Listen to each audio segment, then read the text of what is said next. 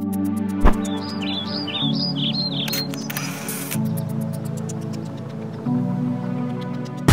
Neville Foot and Ankle Centers, we not only help our patients with disorders and injuries, we make you proud of your feet.